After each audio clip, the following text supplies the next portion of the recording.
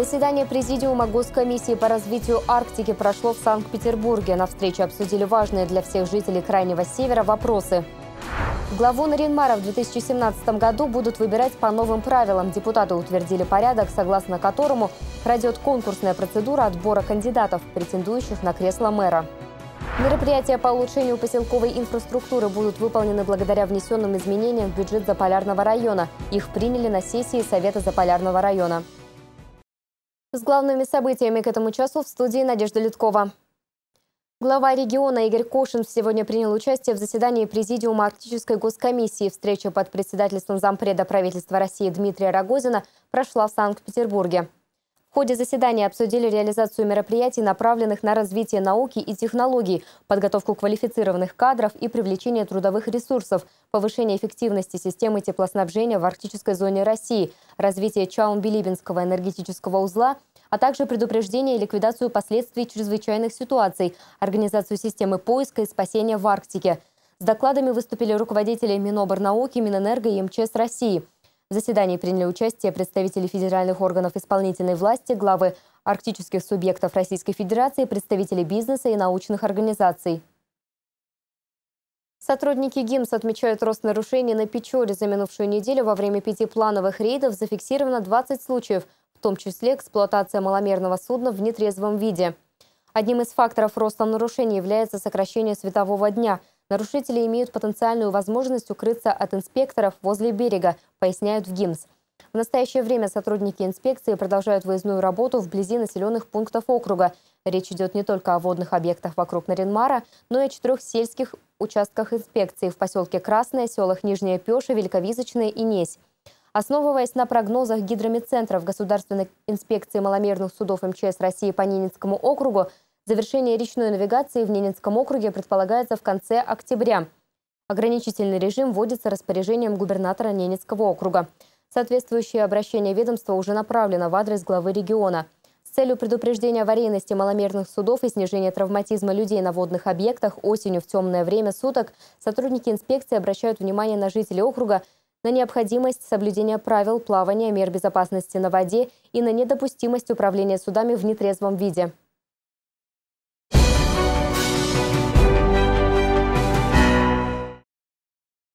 Горсовет готовится к избранию нового мэра. Сегодня на сессии депутаты утвердили порядок проведения конкурса по отбору кандидатур на должность главы Наринмара. Напомню, полномочия действующего мэра Татьяны Федоровой истекают в марте 2017 года. Выбрать нового главу предстоит городскому совету из числа тех кандидатур, которые представит специально созданная конкурсная комиссия.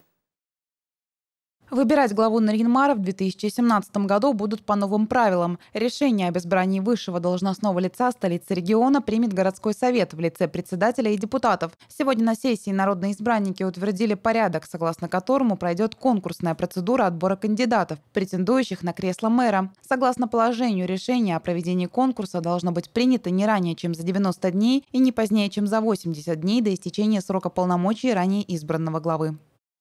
В результате потом, после принятия решения, оно подлежит в течение 7 календарных дней опубликованию.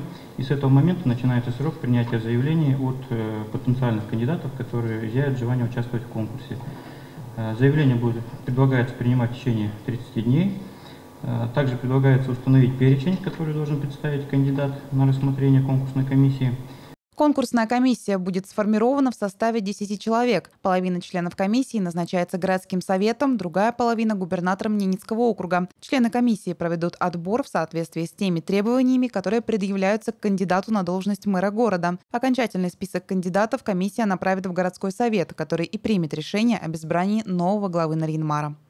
Сегодня очень принципиально важно, что у нас в принципе в конкурсе на главу города может участвовать любой житель Ненецкого автономного округа, достигший 21 года и, в принципе, обладающим всеми правами гражданина Российской Федерации. И сегодня я говорю, что этот вопрос очень важный, потому что буквально в начале декабря нам надо будет объявлять конкурс по выбору главы города. Действующая глава города у нас заканчивает свои полномочия в марте 2017 года. Не менее важными в повестке дня стали вопросы о снижении должностных окладов мэра города и председателя горсовета и о сокращении фондов оплаты труда служащих городской администрации. Напомню, еще в прошлом году на региональном уровне было принято решение о сокращении на 10% зарплат губернатора и государственных служащих. В июне этого года горсовет принял единогласное решение, которое гласит, что оклад главы города должен составлять 90% от оклада главы региона, а также решение о сокращении годового фонда оплаты труда муниципальных муниципальных служащих до 45 окладов, так же, как было сделано в органах государственной власти. Однако решение, которое на июньской сессии депутаты приняли единогласно, глава города не исполнила. Глава города категорически не согласна с этими решениями, она наложила на них вето, поэтому мы его сегодня пытались преодолеть. К сожалению, мы его сегодня не преодолели. Я считаю, что в этой ситуации проиграли жители города, которые в том числе из-за этих необоснованных завышенных затрат потеряли э, достаточное количество средств, которые могли бы быть направлены на строительство тех же детских площадок. Для преодоления вето главы города сегодня депутаты должны были повторно проголосовать за решение, принятое на июньской сессии. Однако, если в июне решение было принято единогласно, то сегодня не набрало большинство голосов. Я уверен, что мы должны были сегодня это сделать. А, сегодня большая проблема стоит о недополучении бюджетом около 70 миллионов рублей, потому что а, городская администрация превышена нормативы по финансированию на зарплату муниципальных служащих и лиц, замещающих выбранные муниципальные должности. Поясню, что 70 миллионов рублей, о которых говорит депутат Сергей Свиридов, это те средства, которые округ должен был перечислить городу в виде дотаций на выравнивание бюджетной обеспеченности. Однако из-за невыполнения нормативов по зарплатам городская администрация не получит этот трансфер и должна будет выделить эти средства из собственного бюджета. По словам депутата Ольги Петуниной, вопросы о снижении должностных окладов мэра города и председателя горсовета и о сокращении фондов оплаты труда служащих городской администрации будут вынесены повторно на следующую сессию. Ирина Цепетова, Владислав Носкин, телеканал «Север». Новое светосигнальное оборудование вертолетной площадки появится в деревне Белушья, а в поселке Харута будет проведен ремонт жилых домов. Эти и другие мероприятия по улучшению поселковой инфраструктуры будут выполнены благодаря внесенным изменениям в бюджет Заполярного района. Сегодня их приняли на сессии Совета Заполярного района. О том, кому, сколько и на что будет выделено денежных средств, расскажет Любовь Пермякова. Один из самых значимых вопросов, который сегодня рассматривали на сессии, касался внесения изменений в бюджет Заполярного района на 2016 год. Расходы районного бюджета в целом увеличиваются на 94 миллиона 410 тысяч рублей. На сумму 6 миллионов 602 тысячи рублей увеличиваются бюджетные инвестиции на завершение строительства школы на 110 мест в селе Телес, Нижняя Пеша выделяются ассигнования на увеличение уставного фонда муниципального предприятия «Заполярный район» Север Жилкомсервис в сумме 100 миллионов рублей на основании обращения предпри... Э, э, предприятия. А, решение об увеличении уставного фонда предприятия принято с целью оказания финансовой помощи предприятию для расчетов за топливо. Предприятие, в свою очередь, берет на себя обязательства по выполнению в 2017 году строительства и реконструкции объектов теплоснабжения в поселке Харивер на соразмерную сумму. По заявке Управления жилищно-коммунального хозяйства ассигнование в сумме 31 тысяча рублей выделяется на формирование земельного участка под дизельную электростанцию и трансформаторную подстанцию с площадкой обслуживания в поселке Красное. Также изменения были внесены и в распределение межбюджетных трансфертов поселениям. Бюджет у нас достаточно живой, мы с ним очень активно в течение года работаем. В прошлом году, в 2015 у нас было 7 изменений в бюджет. В этом году пока не подсчитал, но как бы достаточно активно мы вносим изменения. На сегодня э, появляются, может быть, новые какие-то дополнительные расходы, необходимость в дополнительных расходах в результате главы обращаются в наш адрес, и мы рассматриваем возможности. Дополнительные потребности мы их э, просчитываем, главы доказывают, что действительно это надо сделать, в том числе и вопросы, когда необходимо добавить э, финансирование на, ну, грубо говоря, добавить э, финансовую помощь в бюджеты поселений на решение вопросов их непосредственно. Тоже обсуждаем, тоже Э, отрабатываем и, как правило, все-таки мы удовлетворяем эти заявки, ну, естественно, при наличии э, нашей финансовой возможности. Исходя из финансовых возможностей Заполярного района и на основании обращений глав поселений, межбюджетные трансферты поселений в целом увеличиваются на 4 миллиона 40 тысяч рублей. Данные поправки вносятся в соответствующие муниципальные программы. В рамках муниципальной программы энергоэффективности и развития энергетики выделяются иные межбюджетные трансферты Колгуевскому сельскому совету в сумме 1 миллион 413,7 тысяч рублей на проведение работ по замене внутренней электропроводки в 24 квартирах муниципального жилого фонда. Приморско-Куйскому сельскому совету выделяется 902,9 тысяч рублей на ремонт низковольтной ЛЭП в поселке Красное. Также на содержание свалок в рамках программы «Поддержка муниципальных образований в сфере обращения с отходами производства» бюджетные средства в размере чуть более 400 тысяч рублей получат Андикский, Малоземельский, Омский сельсовет. В рамках еще одной программы развития транспортной инфраструктуры иные межбюджетные трансферты будут выделены на содержание взлетно-посадочной полосы в Шуинском и Хаседо-Харском сельсовете. Всего около 370 тысяч рублей. В деревне Белушье Пёрского сельсовета с целью безопасного взлета и посадки на выделенные 276 тысяч рублей будет приобретено и установлено светосигнальное оборудование вертолетной площадки. 235 тысяч рублей на ремонт и содержание внутрипоселковых дорог получит Приморско Куйский сельсовет. В рамках программы строительства и проведения мероприятий по капитальному и текущему ремонту жилых помещений бюджетные средства получат следующие сельсоветы. Выделяются межбюджетные трансферты Хаседа-Хардскому сельскому совету 532,3 тысячи рублей на частичный ремонт фундамента в жилом доме. Канинскому сельскому совету на снос ветхого жилого дома выделяется 214,3 тысячи рублей. Тиманскому сельскому совету на снос э, аварийного дома и снос э, дома пострадавшего от пожара выделяется 355,8 тысяч рублей. Также межбюджетные трансферты в размере 320 тысяч рублей будут выделены на обустройство трех питьевых колодцев в поселке Красное и деревне Куя. Выделенные средства все муниципальные образования должны освоить до конца текущего года. Любовь Пермякова, Леонид Шишилов, телеканал «Север».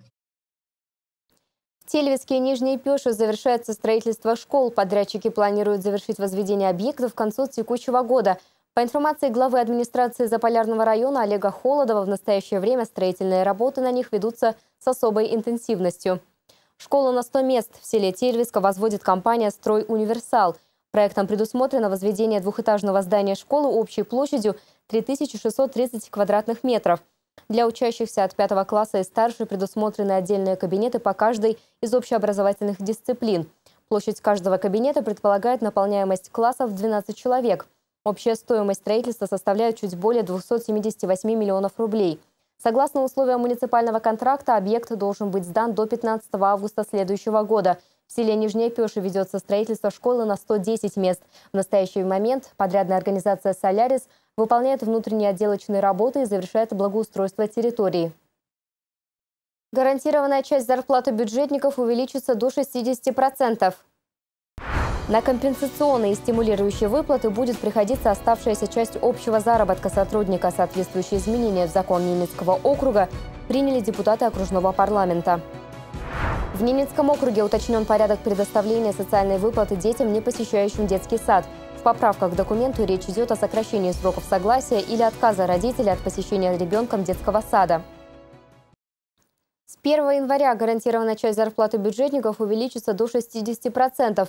На компенсационные стимулирующие выплаты будет приходиться 40% от общего заработка сотрудника. В эту часть выплат не входят районные коэффициенты и климатическая надбавка. Они учитываются отдельно. При этом размер заработной платы останется прежним. Соответствующие изменения в закон Ленинского округа приняли депутаты окружного парламента. Документ в новой редакции вступит в силу с 1 января 2017 года. Изменения приняты в связи с необходимостью приведения окружного законодательства в соответствии с федеральным. Заработная плата претерпит перегруппировку внутри своей структуры. При этом фонды оплаты труда останутся на прежнем уровне. Для каждого квалификационного уровня будет установлен единый оклад, а не несколько, как это происходит сейчас – Повышающие коэффициенты к окладам заменят стимулирующие выплаты. Категория, классность, премия. Показатели эффективности сотрудников разработают непосредственно в учреждениях. Для казенных учреждений разрабатываются отраслевые положения об оплате труда, которыми будут установлены четкие размеры окладов всех сотрудников. Положения станут обязательными к исполнению. А вот в бюджетных и автономных учреждениях окончательный размер окладов будет устанавливать руководитель. Органы власти для учреждения этого типа установят лишь нижний порог оклада, ниже которого руководитель уже не сможет снизить гарантированную часть заработной платы.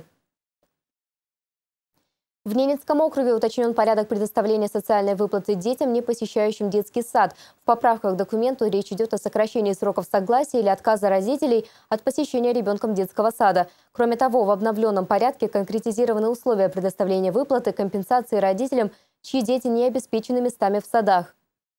Компенсационная выплата родителю или иному законному представителю в случае, если ребенку не предоставлено место в дошкольном учреждении, выплачивается ежемесячно. Размер выплаты составляет 6 тысяч рублей. Соцвыплата предусмотрена для родителей детей в возрасте от полутора до трех лет, не посещающих детские учреждения. С начала года ею воспользовались 824 родителя, воспитывающие 847 детей. Ежемесячно из окружного бюджета на эти цели направляется порядка 3,5 миллионов рублей – с начала года сумма выплат превысила 34 миллиона рублей. В целях исключения факта злоупотребления при получении выплаты основания для отказа в назначении социальной выплаты предлагается дополнить пунктами, предусматривающие необращение законного представителя за получением направления в сроки, предусмотренные порядком комплектования государственных образовательных организаций, и письменный отказ законного представителя от предоставленного места в дошкольной образовательной организации. Конкретизация порядка предоставления соцвыплаты даст возможность устраивать в сады реально нуждающихся в этом детишек. Новые правила обяжут родителей обратиться в профильный департамент за получением направления в детский сад в конкретные сроки в течение месяца после вручения ему уведомления о предоставлении места в дошкольном учреждении. В случае нарушения этого срока или отказа от посещения сада выплата будет прекращена. Край пряников и самоваров за спортивными достижениями. Представители старшего поколения Ненецкого округа отправились на третью спартакиаду пенсионеров. На старт соревнований в составе 65 региональных команд выйдут свыше 550 спортсменов-любителей край пряников и самоваров за спортивными достижениями. Представители старшего поколения Ненецкого округа отправились на третью спартакиаду пенсионеров. Она пройдет в Туле с 29 сентября по 1 октября. Ежегодно спортивное мероприятие собирает десятки тысяч мужчин и женщин пенсионного возраста, которые ведут активный образ жизни, регулярно занимаются спортом и физическими упражнениями. В этом его основной посыл – на старт соревнований в составе 65 региональных команд выйдут свыше 550 спортсменов-любителей старшего возраста, мужчины от 60 лет и женщины от 55. Для сборной НАУ спартакиада пенсионеров станет третьей. Наши спортсмены уже побывали и в Чебоксарах, и в Саратове. Из города на Волге окружная команда привезла отличный результат, став в командных видах соревнований 24-ми из 59 регионов. В этом году у нашей команды есть все шансы подняться в турнирной таблице. В этом году э, в положении написано, что мастеров спорта не будет. Как в прошлом году приехали чемпионы мира, гроссмейстеры международного класса по шахматам по стрельбе мастера спорта, с которыми очень тяжело соперничать нам. Поэтому, надеюсь, в этом году мы поборемся. В этом году в команде Ненецкого округа «Обновление» в легкоатлетических соревнованиях примет участие наш прославленный лыжник Николай Константинович Рочев. Предупредили меня только за неделю до вылета. Так что, ну, подготовка у меня, я лыжами занимаюсь, немножко готовлюсь, так сказать. Форму поддерживаю. Ну, а что там, будет. Постараюсь, конечно, приложить все силы ради команды. Еще один новичок сборной Ненецкого округа – не менее известная лыжница Надежда Деткова. Вместе со спортсменами из других регионов Надежда Васильевна побежит кросс. Подготовка у спортсменки чемпионская. Вообще лыжники тренируются постоянно, понимаете, круглогодично. Зимой на лыжах, летом кроссы бегаем, имитацию на лыжероллерах. Поэтому лыжные гонки, они вообще требуют постоянной подготовки спортивной. Участники спартакиады будут соревноваться в шести дисциплинах, как в личном, так и в командном зачете. Кроме легкой атлетики, наших пенсионеров ждет плавание, пулевая стрельба, дартс, настольный теннис и комбинированная эстафета. Вне зачета пенсионеры сыграют в волейбол со сборной ветеранов спорта Тульской области и поучаствуют в показательной сдаче норм ГТО для старшей возрастной группы. Анастасия Сабатович, Ирина Цепетова, Антон Выдряков, телеканал «Север». На этом пока все. Увидеть новости можно и на нашем сайте. Адрес trksевер.ру. Далее смотрите прогноз погоды.